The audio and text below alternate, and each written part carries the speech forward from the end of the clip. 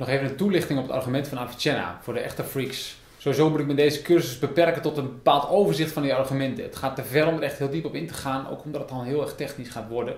En ik er soms ook niet alles meer van begrijp.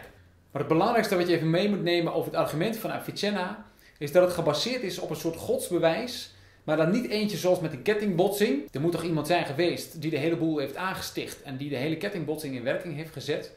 Maar dat het uitgaat van filosofische begrippen als contingentie en noodzakelijkheid. Avicenna zegt alles om ons heen is veranderlijk. En dat betekent ook dat je van alles om ons heen kunt zeggen: het had prima gekund dat het er niet was. Het was heel goed mogelijk dat het scherm hierachter roze was of überhaupt nooit gemaakt was. Het is best denkbaar dat ik überhaupt niet bestaan had. Het is zeer wel mogelijk denkbaar dat het internet nooit was uitgevonden. En het is dus ook absoluut mogelijk dat jij er nooit was geweest. Sterker nog, het is best denkbaar dat heel Nederland er nooit was geweest, de Nederlandse taal er niet was geweest, Europa nooit had bestaan, dat de wereld überhaupt niet was ontstaan. Misschien is het zelfs denkbaar dat iets als de Big Bang nooit zou hebben plaatsgevonden. Alles waar we in leven is contingent. Het had er ook niet kunnen zijn. Maar, zegt Avicenna, we zijn er wel. Ik ben er wel, het internetscherm is er wel en jij bent er ook wel. Hoe kan het eigenlijk dat als alles wat we weten dat er is, dat dat contingent is, hoe kan het dan dat het er toch allemaal op een of andere manier is? Want er moet een verklaring zijn van iets dat ervoor gezorgd heeft dat alles dat contingent is en er ook niet had kunnen zijn. Dat dat er toch is.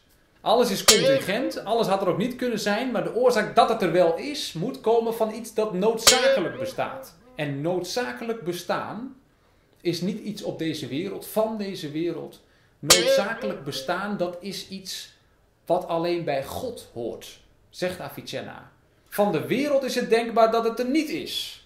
Van God is het ondenkbaar dat het er niet is. God moet er zijn. En in ieder geval moet er zoiets als God zijn om te verklaren waarom alles dat om ons heen contingent en veranderlijk is. En er dus ook niet had kunnen zijn, er toch is. Dus op een of andere manier toch een veroorzaker, maar dan niet in temporele zin, niet in kettingbotsing zin, maar in metafysische zin. Gods noodzakelijk wezen moet bestaan om te verklaren dat alles wat contingent is, er toch is. Vandaag de dag hier op de wereld. En dus kun je een prioriteitsvolgorde maken. God moet er zijn geweest om te verklaren dat er een wereld is. Maar het was absoluut denkbaar geweest dat God alleen zou bestaan en dat de wereld er niet was. Het feit dat de wereld er wel is, verklaart in ieder geval dat er iets is als een noodzakelijk bestaand wezen.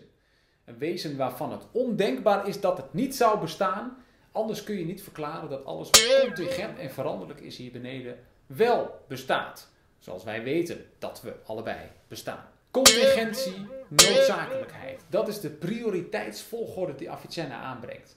Hij zegt dat moet je niet temporeel opvatten. Alsof God op een dag begon met de schepping maken. Je moet het hiërarchisch opvatten. Of in prioriteit opvatten. In die zin is het metafysisch.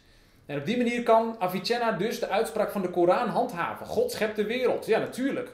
In die hiërarchische prioriteitsvolgorde maar niet in de tijd. Zoals Aristoteles al had gezegd. De wereld heeft altijd al bestaan, er zit geen temporeel begin aan. Moeilijk argument, invloedrijk argument, maar ja, dan vooral in de middeleeuwen, waar deze discussie over de eeuwigheid van de aarde zo ontzettend prominent was.